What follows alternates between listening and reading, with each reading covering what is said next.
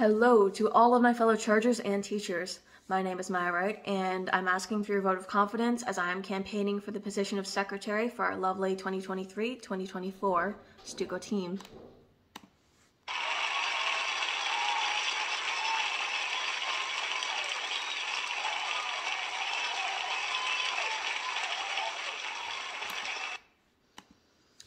I'll start off by saying thank you to everyone for their time and consideration. I've always enjoyed my time at Stuco, and I am incredibly excited for this opportunity to take on a role that organically matches my so called hermit like nature to do more writing and less peopling.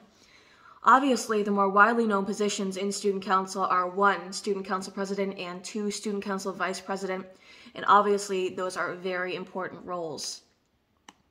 However, there are other roles within Student Council that also are very important. For instance, the role of secretary. Student Council secretaries are responsible for the overall documentation of Stuco activities. Think of it like a scriptwriter is to player production. Sorry, that's my dog. In order for the production to go smoothly, a scriptwriter sets the scene and tone of the play through written words and cues.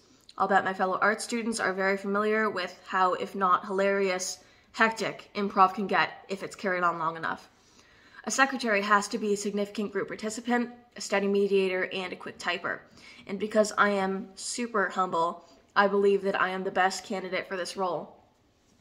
Now, I chose to apply for this position because I fiercely believe that it's one I'd be good at. I like to keep organized, and I can appreciate when an event is near perfectly executed. I'm also a very punctual and prepared individual, and I love to incorporate all of the ideas of others within my daily projects. My goal as a secretary would be to make sure that all of our school events are properly prepared for, to make sure that everyone knows the information they need to know so that Centennial can have as many fun school events as possible. And now that I've said my little spiel, I'm going to quote something my friend told me to say. You may need to brace yourself for this one.